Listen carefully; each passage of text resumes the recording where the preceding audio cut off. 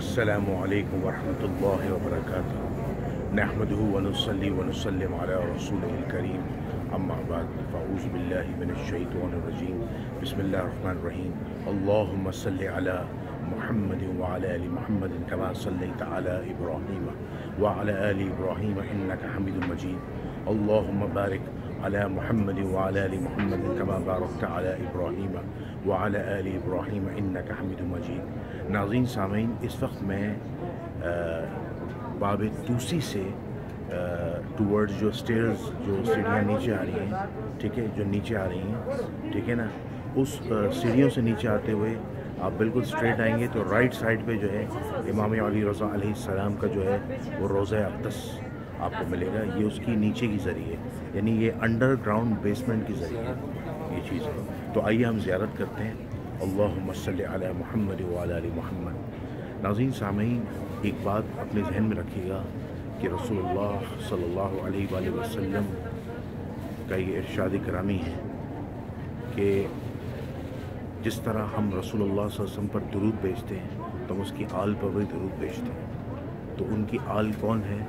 وہ نسل جو حضرت فاطمہ الزہرا سلام اللہ علیہ سے چلی ہے، تو اسی نسل سے اسلام کے آٹھویں امام امام علی رضا علیہ السلام ہے صورت شورہ کی آیت ہے، قُلْ لَا أَسْأَلُكُمْ عَلَيْهِمْ أَجْرًا إِلَّا الْمُبَتَّدَ فِي الْقُرْبَى اے رسول، ان سے کہہ دیجیے کہ میں ان سے رسالت حق نہیں مانگتا، مگر میں یہ چاہتا ہوں کہ میرے اقربا سے محبت کریں۔ تو میں قرآن کی اس آیت کی سورہ شورہ کی آیت کی روشنی میں میں امام علی رضا علیہ السلام سے اور تمام اماموں سے، تم، امام المتقین سے محبت کرتا ہوں۔ کیونکہ سورہ شورہ میں اللہ تعالیٰ خود ارشاد فرماتا ہے کہ اے رسول، ان سے کہہ دو۔ اے رسول، ان سے کہہ دو کہ میں اپنی رسالت کا حق نہیں مانگتا۔ میں چاہتا ہوں میرے اقربا سے محبت کرو، میرے اماموں سے محبت کرو، میری اولاد سے محبت کرو، میرے ولیوں سے محبت کرو۔ تو یہ قرآن کی آیت اپنی ذہن میں رکھیے۔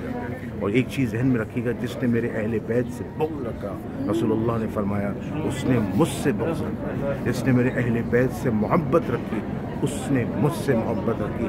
جس نے آل رسول سے محبت رکھی، اس نے تمام مسلمان مومنین سے محبت رکھی۔ یہ ذہن میں رکھیے گا۔ اللہ تعالیٰ ہمیں رسول اللہ صلی اللہ علیہ وسلم کے فرمان پہ عمل کی توفیق عطا فرمائے اور ان کی آل اور اہل البیت سے محبت پیدا فرمائے۔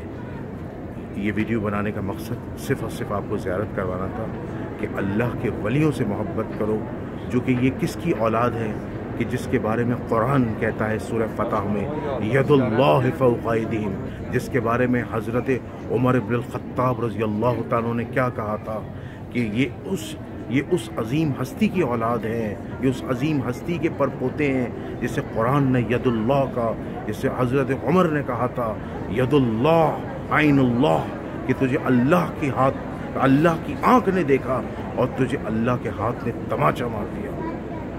جن کا جن کا ہاتھ ید اللہ ہو، جن کی آنکھ عین اللہ ہو، ان کی اولاد کیا ہوگی آہ سوچیں جن کا باپ، جن کا جد امجد، جن کا دادا امام علی، جسے حضرت عمر کہہ رہے ہیں ید اللہ عین اللہ، اور قرآن کہہ رہا ہے ید اللہ فوق ایدیہم۔ سورہ فتح کی آیت ہے۔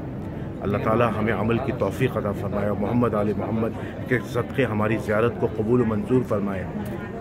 السلام علیکم ورحمۃ اللہ وبرکاتہ۔